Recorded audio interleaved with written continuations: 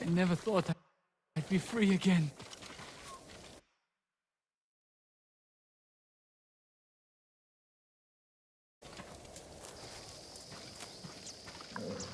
That samurai armor looks expensive. Where did you get it? I bought it off a group of raiders. Well, you're a brave man for wearing it on Iki. I'm Tsubaki. Make my living in the dye trade for horse armor.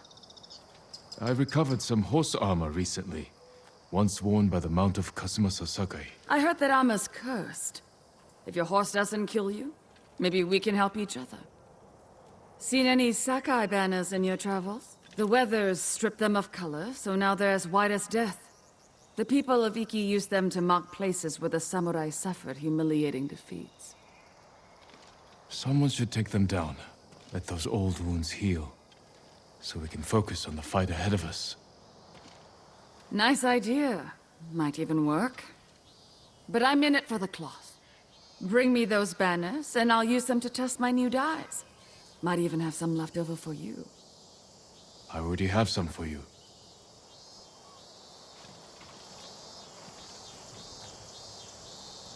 I found some Sakai banners for your work. I remember seeing those banners when the samurai first arrived. I was with my older brother.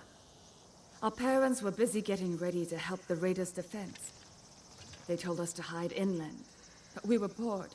So Jubei and I climbed the mountain and I looked out to sea. At first there was nothing. Then, just before sunrise, the samurai ships appeared in the fog. I grabbed my brother's hand. Squeezed it so hard my nails bit into his skin, but he didn't say a word. Funny. I haven't thought about that day in years. Maybe more banners will stir your memory. I hope not. Here, I have some dye left over that should suit your horse nicely.